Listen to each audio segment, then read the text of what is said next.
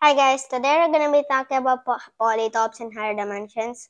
So polytopes basically just mean things in like 2D, 3D, 4D, all of those classified together. Okay, so first we're going to start with shapes in 2D. Now in 2D there are like infinitely many shapes because you can keep adding another side.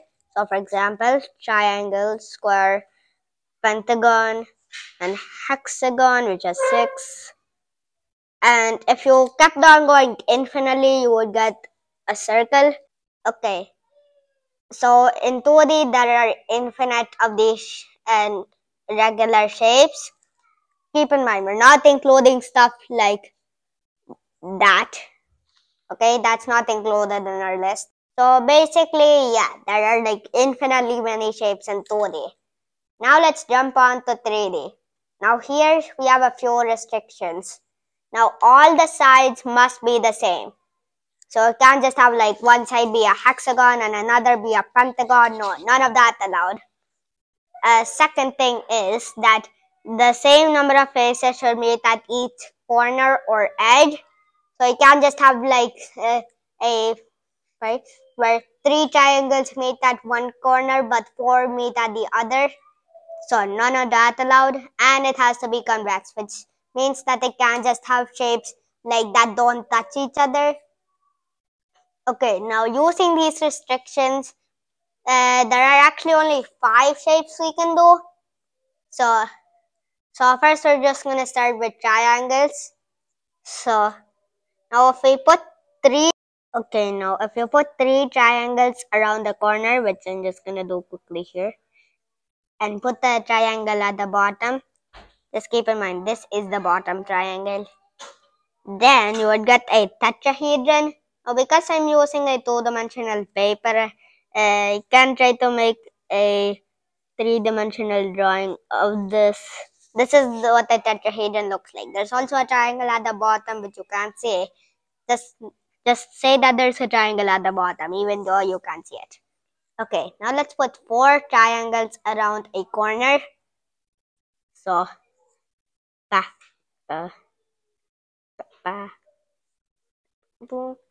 Now, if we try to close this, we will get four triangles and we will get, and if we put, take another one of that, put that on the bottom, boom, we would get the octahedron, which I'm, which, is, which I'm drawing now. Keep in mind, this one's actually kind of hard to draw.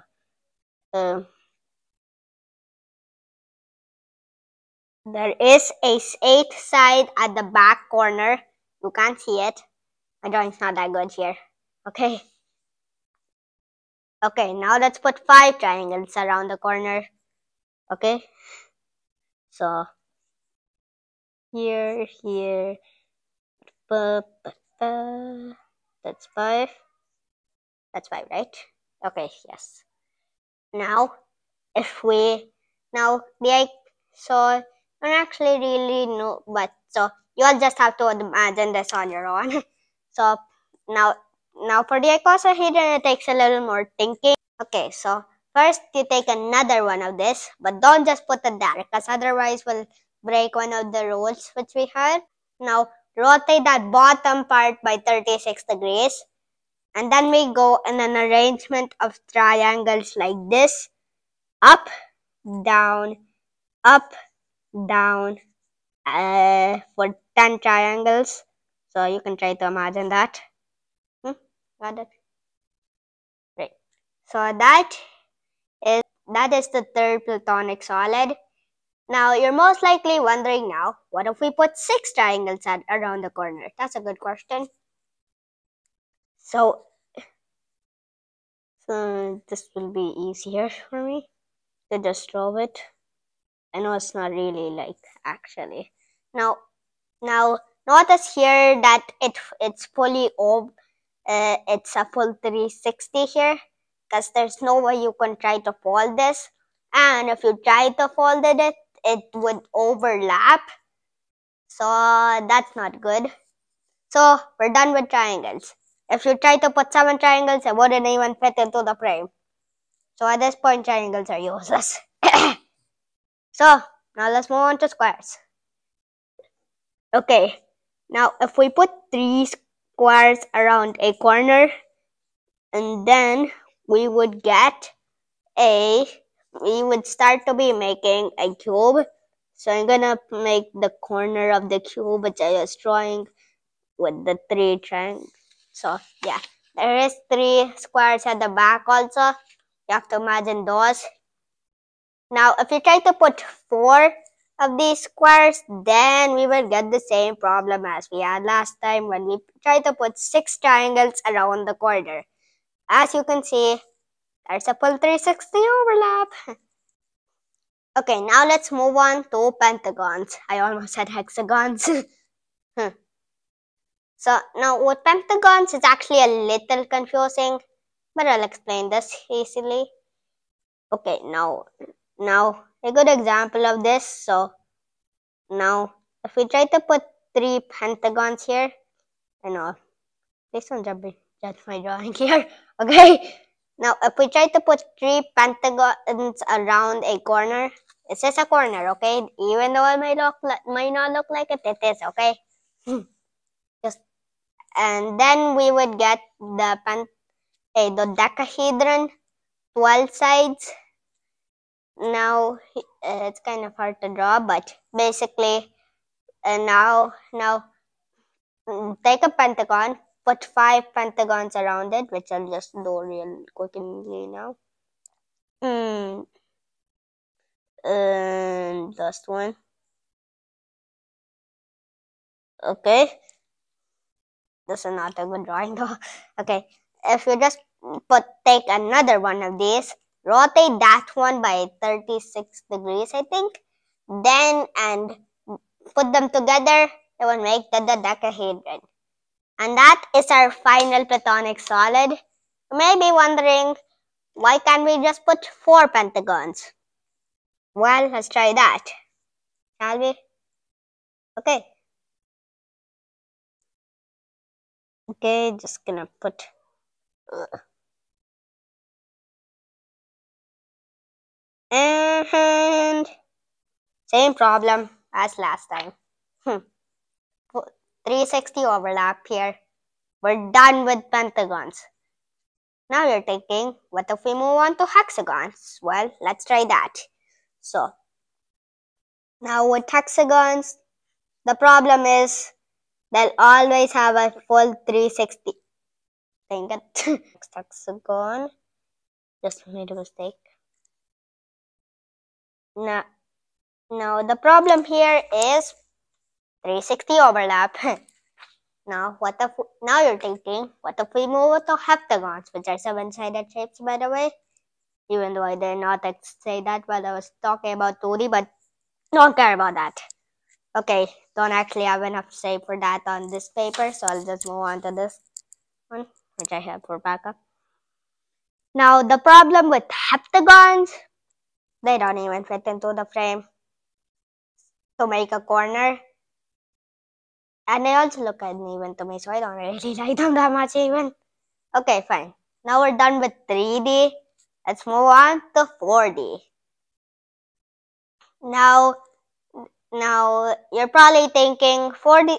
Now you're probably thinking 4D is gonna be really confusing, and yes, it is. But I'm gonna do this without any confusion here. Hmm. I hope I'm not wrong here. Okay, now first let's use tetrahedrons. And now with a tetrahedron, if you now with tetrahedrons, if you put three of them around the corner, then and folded them in, and then they would make a four-dimensional tetrahed hyper tetrahedron, corner. Now you're probably thinking, but there's an overlap. Well, that's actually because it's 4D and we only see things that are 3D, right? So, and so they didn't actually just overlap, they just popped into the 4 dimension. Kind of like how we were doing the 2D shapes, they just didn't just overlap, they just popped into the third dimension. So, and if we took 5 tetrahedrons, then we would get the hypertetrahedron.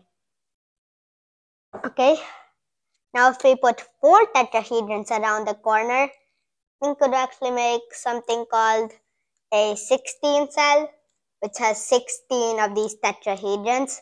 If you were to put 5 around the corner, oh now here's where it gets crazy. Then you would get the 600 cell, which has 600 of the tetrahedrons. That's quite a lot actually. Just, with, I know it's crazy, right? Yeah, for everything is 4D is crazy actually. Six triangles, six tetrahedrons, same problem as we did in 3D. Now, okay, so we're done with that. Now let's use cubes. Now we put, I think, three cubes around a corner. We would get a corner of a hypercube. And to make a hypercube, we need eight cubes.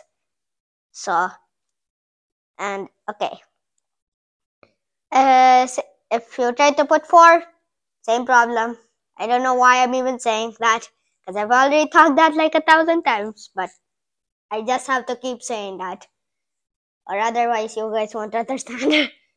Anyways, okay, so mm, and now we now let's use the octahedron. Mm, now for the octahedron, we will get the 24 cell which takes 24 octahedrons. And that's a lot, but not as much as the 600 cell Hmm. Okay. Now, would, I actually forgot to tell you this, but this 600 cell actually belongs to the icosahedron. But as Numberphile addressed in their video on this, they actually said that the icosahedron is way too shallow for it. But we're not on Numberphile here, okay? Okay, anyways, the dodecahedron, we would create, now, since the gap is so little with the dodecahedrons, we have to create 120 of them, which is a lot. And I'll, I can't really draw that on paper, so you'll just have to imagine that in your head. Hmm. and it's crazy, you're most likely already thinking, and it is. Of course it is. Anyways, now let's move on to 5D. Now, and now here there are only actually three shapes we can make. Like, by the way, so uh, I actually only know two of them though. So you'll probably have to guess what that third one is called. yeah Now, in 5D, we can only use two of our 4D shapes, the hypertetrahedron and the hypercube. Now, with the hypertetrahedron, it's gonna get really crazy, but if we try to project that in 3D, it get it would actually lose some of its symmetry. And there are no, there's actually like infinite of these. We're only including one. Because, you know, if we could infinite of them, uh, this video would be like infinitely long. okay, anyways. Now with the hypercube, same problem. We'd actually have to lose some of the symmetry to make it look 5D. Now with every other dimension coming, there's only three shapes. 63 shapes. 73 shapes. 83 shapes and 93 shapes. So every other dimension from 5D and up have only three shapes that follow the rules that I talked about. Now here, so yeah. Oh, and 1D and 0D, they only have one shape each. Because in 0D you have a dot or a point. That's really small. And then 1D, lines. Uh, just comment me if you have any question and hope you learned something new. Bye. 嘿嘿